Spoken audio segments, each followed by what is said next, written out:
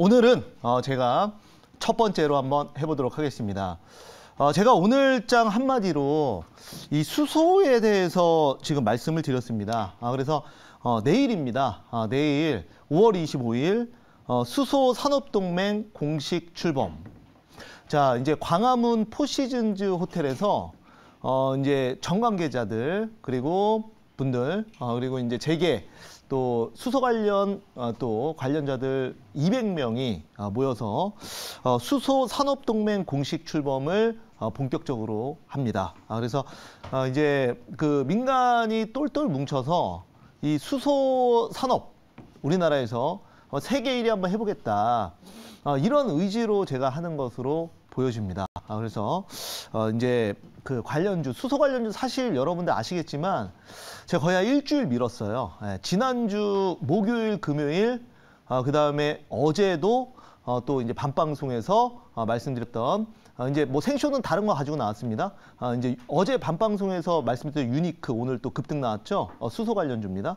그래서 이런 식으로 지금 그리고 이제 생쇼에선 제가 좀 무거운 거 이제 두산 피어셀 또 편입을 했는데 어, 이런 식으로 이제 수소 관련주는 우리가 그 공개 방송에서도 제가 반드시 아무거나 아, 어떤 종목이라도 한 종목은 편입을 하고 가야 된다. 어, 이렇게 말씀을 드렸었는데요.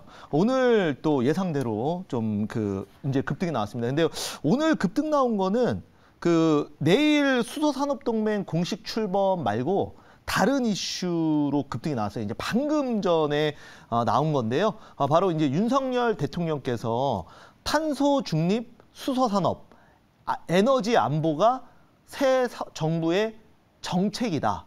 어, 이렇게 말씀을 하셨습니다. 그래서 오늘 지금 수소 관련주가 급등이 나오는 건데요. 이게 갑자기 나온 말은 아니고 또 내일 그 수소 산업 동맹 공식 출범을 앞두고 어, 이제 대통령께서 어, 이렇게 말씀을 하신 걸로 봅니다. 아, 그리고 어, 제가 이것도 생쇼에서도 뭐 몇 번 그 전에 말씀을 드렸는데 어, 6월 8일 날 또 코리아 H2 비즈니스 서밋이라고 어, 이제 수소 관련 사업을 하고 있는 대기업들과 그 다음에 해외 바이어들이 어, 여기 이제 동대문 디자인 프라자에서 어, 모두 또 굉, 그 거의 다 참석을 하고 있고 18개국이 참석하니까 이제 수소 산업에 연관된 국가들은 다 참석을 해요. 그래서 어, 지금 수소 관련주는 어, 지금도 늦지 않았으니까 한 종목 정도는 어, 반드시 사야 된다 이렇게 말씀드려 보겠습니다. 어, 당연히 오늘도 이제 수소 관련주 가지고 나왔고요. 어, 이제 다른 종목 이제 그 방송에서 그 전에 얘기했던 거 어제 얘기했던 건 뭐 유니크나 이런 거 좀 피해서 오늘 가지고 나왔습니다. 뭐 이 종목도 충분히 아, 바닥권에서 올라올 수 있다고 봐서 아, 가지고 나왔습니다.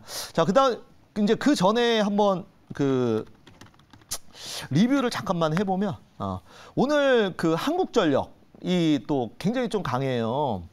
어, 제가 요즘에 종목들을 조금 바닥에서 돌아가는 종목들 위주로 많이 넣거든요. 그래서 어, 빠져도 좀 덜 빠지고 예, 또 올라갈 때는 어, 좀 강하게 올라갈 수 있는 종목들 위주로 좀 하는데 한국전력은 말씀드렸지만은 올해 대규모 적자가 예상되지만 오히려 그게 호재일 수 있다. 왜냐면 이제 어, 지금 윤석열 정부 들어서 앞으로 전기료 인상이나 어, 그 다음에 그 원가 연동, 연동제 예, 그리고 어, 또 이제 그러니까 무슨 말이냐면 한국전력 자체가 전기를 만들어내진 않거든요.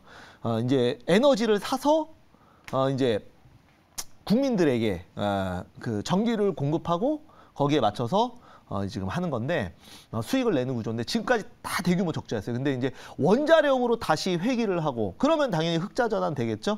그때 한참 원자력으로 잘 나갈 때 주가가 6만 원이었거든요. 근데 지금 뭐 2만 3천 원이니까 엄청 싼 거죠. 사실 뭐 지금도 사도 돼요. 예, 워낙 많이 빠져가지고 음.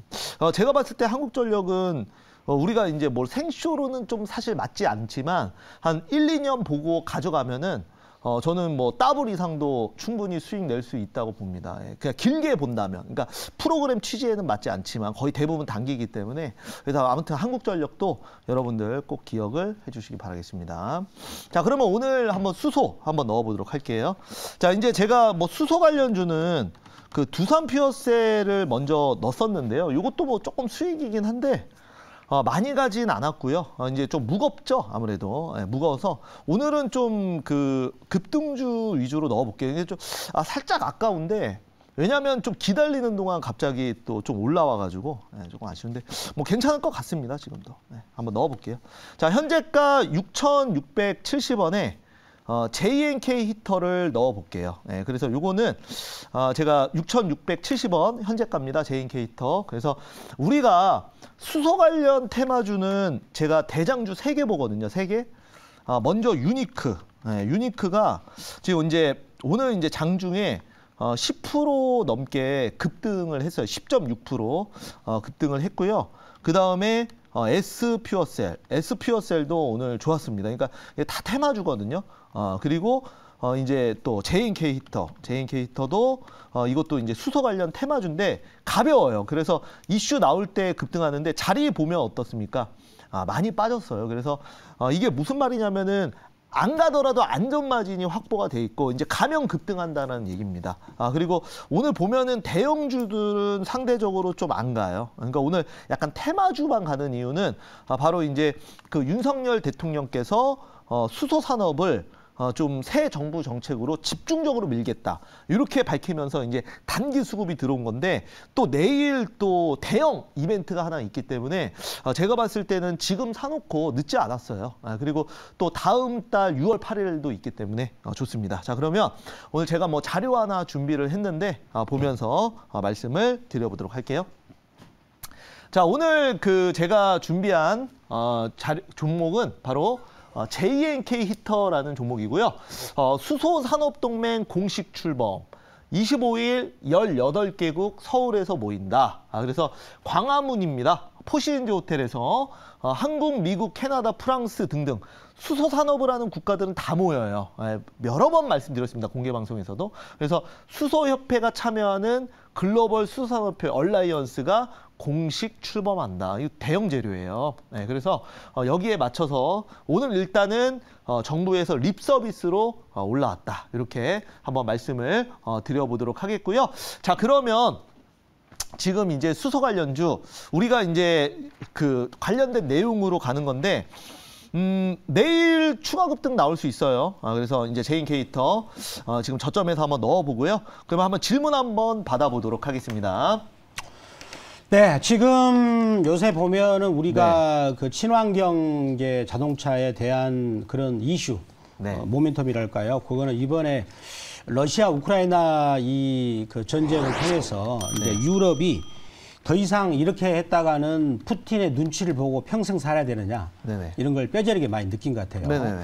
어, 그러므로 인해서 지금 유럽이 신재생 에너지 쪽으로 오리어 어, 원래 40%에서 45% 정도 가소가 아, 시키는 걸 정책을 발표해 가지고 어. 앞으로 그쪽의 그 시장 규모를 뭐 450조 원을 좀 보고 있는데 어, 그렇다면 수소 관련 그 이쪽도 그쪽으로 될 것으로 생각이 되는데 어, 근데 요즘에 보면은 전기차가 많이 좀 보이더라고. 시, 이렇게 보면 시내 보면 주행하는 거 보면. 네네네. 그러니까 전기차하고 내연기관의 차는 소리 자체가 틀리잖아요. 네네. 어, 내연기관은 부르륵 하는데 전기차는 소리 없이 다가오는 게 전기차인데 어, 운- 소리 소리 자체가. 근데 수소차는 이렇게 별로 보이는 경우가 없어요. 네네. 보이는 경우 없는데 에, 그래서 내가 그럼 수소차는 왜 이렇게 그 아직은 대중화가 안 됐을까라는 걸 생각해 보니까 전기차는 충전소가 많잖아요. 네네. 그 수소차는 충전소가 아직 적는데 네네. 그런 문제에 대한 그 확충 그런 것은 어떻게 계획이 된 정부가 되고 있는지 음, 네. 뭐 계략적으로라도 음, 네. 우선은 그 지금 국내에 나와 있는 수소차는 네. 하나밖에 없어요. 네. 아, 넥소. 그리고 그 넥소가 전 세계에서 판매량으로는 1위입니다. 음, 그래서 어, 지금 그 이제 수소차 과- 그 차종이 하나밖에 없다 보니까 네. 아무래도 그 이제 눈에 전기차보다는 많이 안 보이죠. 뭐 전기차야 뭐 각국 브랜드가 경쟁적으로 출시를 하고 있으니까. 아 그리고 이제 수소는 우리가 이제 충전소가 좀 중요합니다. 충전소. 아 근데 아, 이 수소 충전소가 우리가 이제 전기차는 충전할 때 아파트 주차장에 그냥 220볼트 꽂아도 어, 충전소도 다 있고 그리고 이걸 변환해서 하면은 어디서든 좀 충전이 좀 양호한 편인데 수소 충전소는 그 일단은 부지부터 시작해서 이게 인프라 투자가 좀 들어가요. 그래서 어, 이거를 그래서 정부 주도로 일단은 인프라를 깔지 않으면 안 되거든요. 어, 그래서 이게 이제 합심해가지고 만들어야 돼요. 인프라를 우리가 규격화하고 같이 투자하자. 그래서 어, 또 내일 수소산업동맹이 공식으로 출범하는 거고요. 그러니까 그냥 스스로 하나하나 경쟁하는 게 아니라 같이 모여서 투자하자는 거예요. 그래서 이제 그 이제 힘을 같이 모으는 것이다. 어, 이렇게 말씀을 좀 드려볼 수가 있겠고요. 그 다음에 이제 정확히 수소 같은 경우에는 수소 전기차입니다. 그러니까 수소를 이용해서 전기를 만들어내는 전기차예요. 그래서 어, 수소 전기차도 넥소도 제가 이제 저는 넥소 좀 자주 봤는데 여기 충무로에도 많이 돌아다니더라고요. 그래서 보면 그 소리 안 나요. 수소 어차피 전기니까. 아, 그래서 앞으로 어, 우리가 이제 전기차도 현대차가 많이 할 거지만 이 수소차는 오히려 전기차 그 다음 단계거든요. 근데 아직까지는 뭐 단가나 이런 것 때문에 차도 비싸고 수소차 넥소 같은 경우에도 어, 한 그냥 그냥 사면은 보조금 없이 사면 한 8천만 원 해요. 근데 보조금 껴서 사면 4천만 원 후반대까지 떨어지거든요. 물론 지자체마다 다르지만 근데 이제 차량 가격도 앞으로 낮아질 거고 거기에 맞춰서 앞으로 이제 그 이제 2040년 정도 되면은 수소차 반 전기차 반 이렇게 지금 어, 전망을 하고 있어요. 그래서 어, 이런 관련 모멘텀으로 어, 제가 오늘 편입했다 이렇게 말씀드리겠습니다. 자, 그래서 JNK 히터는 어, 1차 목표가는 7,200원, 어, 2차 목표가는 9,800원, 손절가는 5,800원 말씀드리겠습니다.